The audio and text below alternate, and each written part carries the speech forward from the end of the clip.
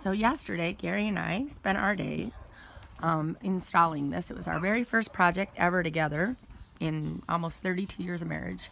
He's never asked me to help him with anything, never wanted to help him with anything. So we spent, I don't know, like six hours or something like that working on this.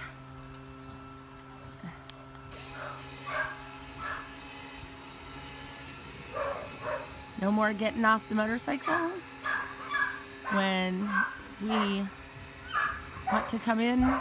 Usually I have to wait to get on the motorcycle. He pulls out and then I get on, he gets off the motorcycle, I get on the motorcycle.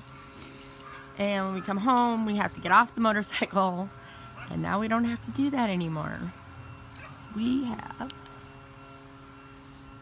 a gate. I think it shuts. It's gonna shut on its own. I think it's like two minutes or something and then it'll shut. Beatrix, do not think about it.